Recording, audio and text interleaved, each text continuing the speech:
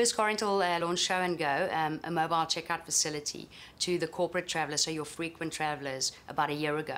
In reality, a checkout takes four minutes once you've got all of the details of a customer in a normal scenario. So, in other words, if we've already captured the driver's license, we've already captured their ID details and so on, so it's a frequent rent, in other words, um, then at first car rental, we're already quicker with that process in itself, you know, narrowing it down to about four minutes. But that doesn't cut out any queues if there's a morning rush or anything to that extent.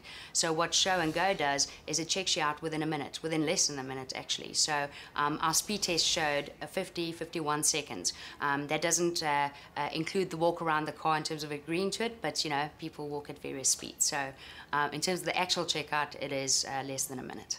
Okay, so when the corporate traveler arrives, they take the shortest route to get the dedicated show and go parking area.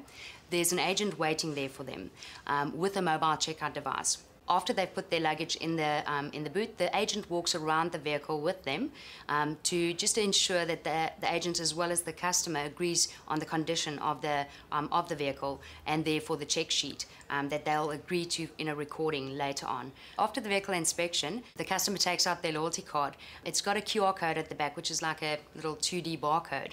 Um, the agent takes that card and snaps it, which then renders a photograph of the customer, which means that the agent is able from security aspect, is able to see that the customer that's in front of him is the customer on the phone, which means that he's identified the customer um, as one of our frequent customers. He then inserts the kilometers of the vehicle as well as the registration. That means that we get to marry up the actual vehicle movement with that of the customer.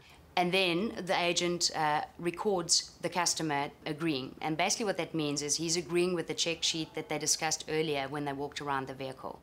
And after the recording, the agent hands over the keys and the customer can be on his way.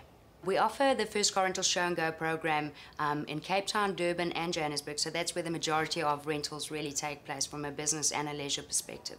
First Car Rental Show and Go product is the first of its kind. There's actually no other um, mobile checkout facility in car rental out there at all, anywhere in the world.